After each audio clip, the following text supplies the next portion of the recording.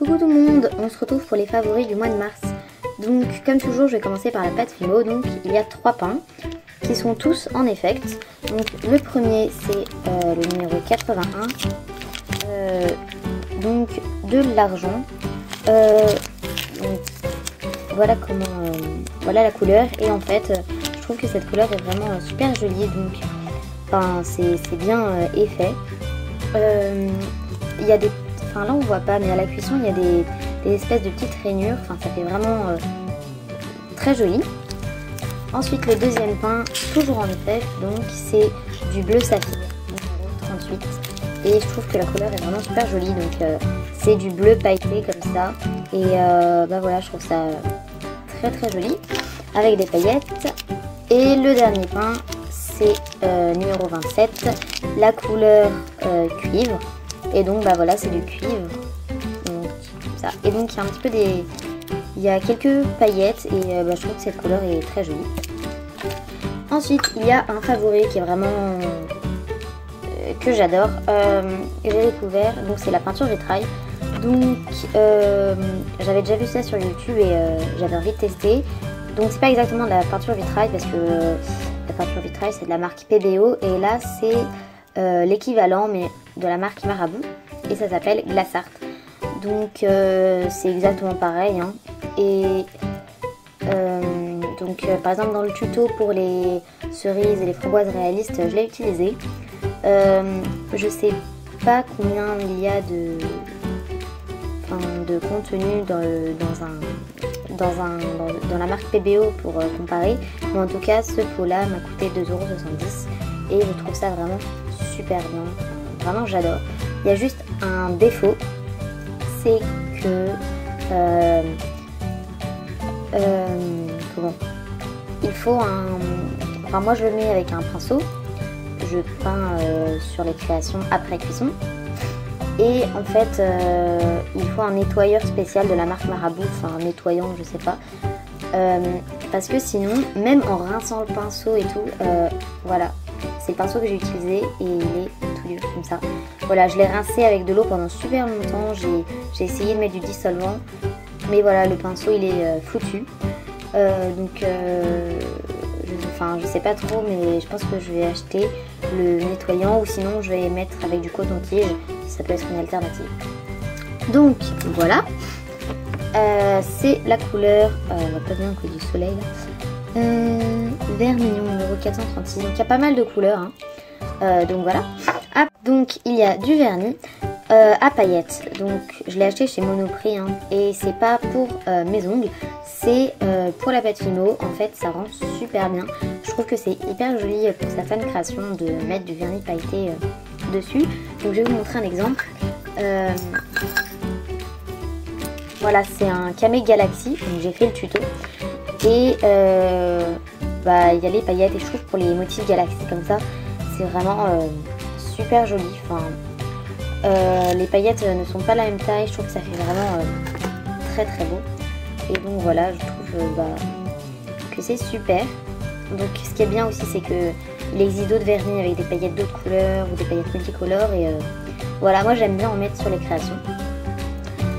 Après, il y a trois donc ce sont des feutres Posca. Si vous ne connaissez pas, voilà Posca. Euh, ce sont des feutres indélébiles. Donc là j'ai pris la pointe euh, la plus fine je crois. Enfin pardon, désolé. Donc voilà comment est la pointe, donc c'est vraiment très fin. Euh, et c'est. Je je crois que c'est marqué là. Non, c'est pas. Donc on voit mieux sur ce feutre, c'est 0,7 mm. Euh, donc moi j'ai les couleurs or, enfin doré, euh, rouge et blanc. Et du coup après cuisson à mettre sur les créations c'est super joli. Donc on peut faire pas mal de choses. On peut faire avec le blanc par exemple des yeux. Avec la bouche enfin avec le rouge on peut faire une bouche. Voilà je, pardon. Je vais vous montrer un exemple. Voilà. Par exemple ce cupcake. Donc voilà, j'ai fait le drapeau de l'Angleterre. Et bah voilà, moi j'aime beaucoup les Posca, je trouve que c'est super bien. Et on peut en mettre partout parce que c'est vraiment indélébile. Euh, alors, on va passer au moule. il y a ces deux moules que j'ai fait en noyau. Euh, donc ils sont pas la même couleur mais c'est en fait pour la même chose. Ce sont des BN donc on voit pas très très bien. Là c'est une tête de BN, enfin une tête. C'est le recto donc avec euh, le sourire et les yeux. Et ici c'est le derrière l'écriture. Voilà. Et euh, voilà pour faire des colliers je trouve ça super bien. Et donc voilà, ce sont deux moules BN. Il y a après euh, le support caméba comme ça. Euh, je trouve que c'est super joli de mettre des, cabochons des trucs comme ça sur des supports euh, en bague. Donc voilà, j'ai acheté pas mal de supports comme ça et je trouve ça très joli. Après, on va passer aux breloques. Donc tout d'abord, il y a ces deux breloques. Donc ce sont les mêmes. Donc il y en a une en bronze et une en argenté.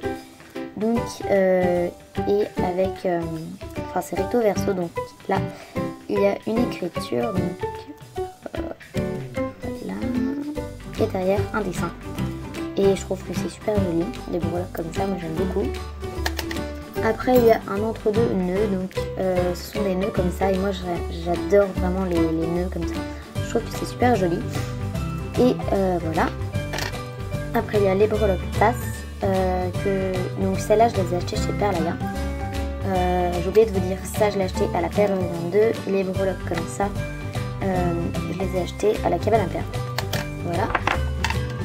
Il aussi cette breloque clé que je trouve euh, très jolie. Enfin, elle est assez simple et je la trouve bah, très très belle. Et je l'ai achetée à la Perlerie en deux.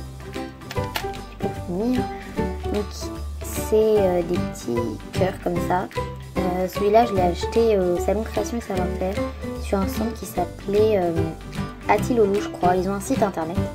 Et euh, voilà, je trouve que c'est. Donc là, c'est blanc. Donc en fait, c'est de ce côté-là, marron. Et je trouve que c'est super joli, par exemple, pour planter dans le chantilly ou, ou autre. Donc voilà, j'aime beaucoup les, trucs comme ça. Et le. Alors, il y a encore deux choses. Donc pour le Liberty, c'est comme ça, donc c'est un peu des taches de peinture, euh, on dirait. Enfin, moi je trouve que ça ressemble. Et euh, voilà, je l'ai utilisé pour euh, ce collier. Je trouve que ça allait bien ensemble. Et voilà, j'arrête pas de dire et voilà. Je trouve que c'est joli comme motif et j'aime bien les couleurs. Et je l'ai acheté à la cabane perle. Et pour finir, c'est ma palette. Comme ça.